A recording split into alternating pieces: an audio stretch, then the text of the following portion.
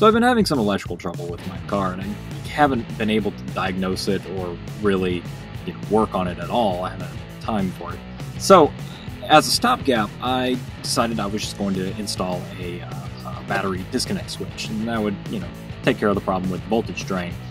Uh, so I'm going to show you how to do that right now. And this is this is great uh, if you have a vehicle that you drive on occasion. This is a great way to save the battery if you have an RV or something like that. Just a very quick, easy way to take the voltage load off so the battery doesn't drain so quickly. I picked up this battery disconnect switch from Harbor Freight for about $5. You don't have to get it from Harbor Freight, of course. I'll drop a link to something similar in the doobly doo for your reference. Jesus, that's a mess! This is what living in South Georgia for a few years can do to a car. I don't recommend it. Also, you've probably noticed that I'm doing this as a series of stills. That's because there was no way that I was going to be able to fit a camera on a tripod, much less enough light, into the boot of my tiny car to get video. So I just shot stills. At least you can see what's going on.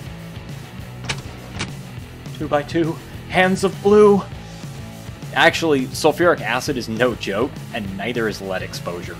You don't really want to touch that stuff if you can help it. Show some love, put on a glove. So you'll want to reach in and disconnect the negative lead from the battery, and that's the black one. Do this by loosening the bolt that holds the lead clamp down on the terminal. Don't ask me what size wrench to use because they're all different. I used a 12mm end wrench on my car, but yours may vary. All that dielectric grease makes it look like Dexter Morgan was here, but at least there's no corrosion. Now, just clamp the lead onto the shank end of the disconnect switch. The switch has its own terminal clamp that you'll need to loosen a bit in order to fit it on the battery terminal, but a little finesse will get it snug on there. Then you just focus, you fat. That's better. Then you just take your end wrench and tighten the clamp down. That's it, all finished. Righty-tighty engages the electrical system, lefty-loosey disengages it. That's really all there is to it. it. It's a very simple installation.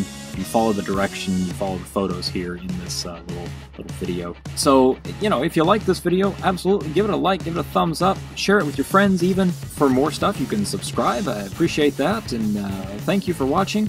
And until next time, tally ho, y'all.